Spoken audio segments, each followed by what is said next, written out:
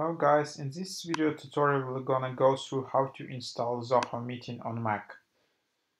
Uh, so here's Zoho Meeting. So uh, I would just sign up here for free. So just go to zoho.com and then just sign up with your email password. You don't need to enter any credit card, nothing.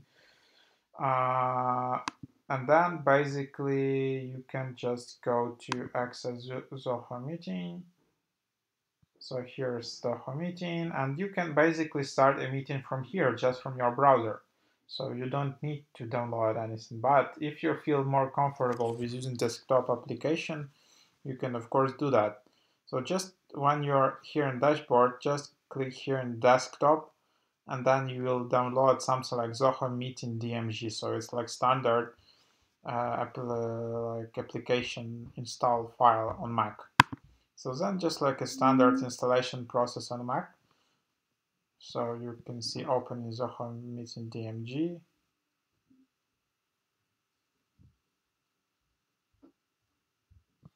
Then I was just like move it here in the application folder.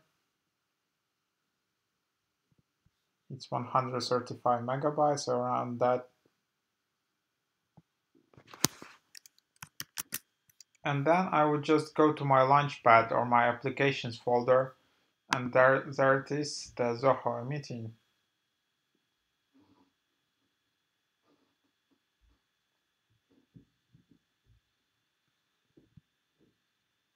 When first time it starts, it's verifying Zoho meeting on your Mac.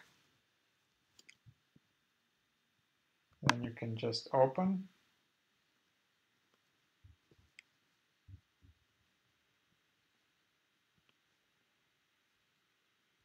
And there it is.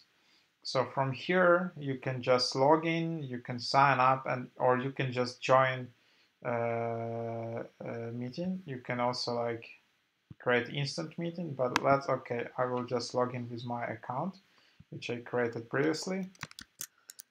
Then I will see this notification about two-factor authentication, whatever.